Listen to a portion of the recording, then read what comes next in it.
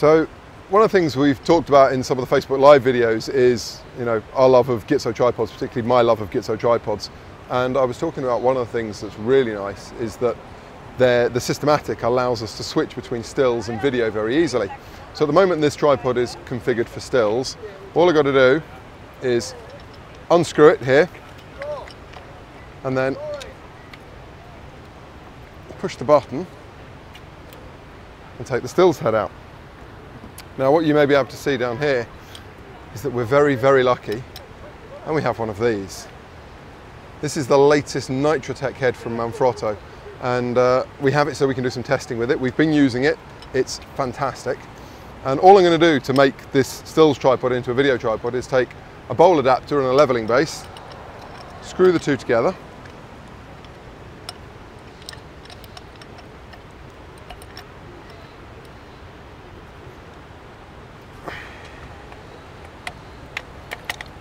and drop it in. And now I have a very high quality video capable rig. Now I need to tell you a little bit more about this head because uh, it's brand new. Um, they've only just been announced. It was announced, um, I think, yesterday, maybe the day before. Um, and it uses, I don't know if you can see this down here, it's got like a little nitrogen cartridge. And instead of all the, the fluid drag that they used to have, this nitrogen cartridge allows, them, allows you to change the pressure inside to create a continuously variable counterbalance system. So whether you're putting something small like a mirrorless camera, be it um, GH5, where, which we've been using with, or EOS M5, or whether you're going for something much bigger like a C100 or C300 or even uh, FS5, then you've got a head that will do it. Now compared to the 504, the head itself is substantially lighter, so traveling with it, you know, putting it on the airport, uh, on the airplane for this trip was a lot easier than getting a 504 on here. Um, and I mean, it looks pretty funky, right? It looks kind of cool. We've got very, very smooth pan. Um, on the side here, we've got lock and we've got drag for your tilts. And with this, we can adjust our counterbalance depending on the weight of the camera and where we position it.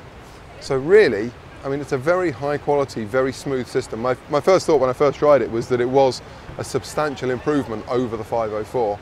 Um, and then when I got to pick it up, I was amazed at how light it was. Really, um, we've been loving using it, and uh, yeah, we're going to uh, we're going to keep going. Now, for those of you that might be interested in trying one of these, maybe you don't want to um, go buy a video head, you don't do it that often, or maybe you just want to try the latest tech. Hire a Camera have already got these in stock. They, as I said, they were only announced yesterday. Hire a Camera already have them. They're replacing all of their 501 heads uh, that they had on their kits, and they're adding some new kits as well with carbon fiber legs, all with these Nitrotech heads on. Um, so, you know, if you want to try them, and they really are fantastic. It's so smooth, unbelievably smooth, and the counterbalance just makes it so easy to use. Um, definitely worth checking these out.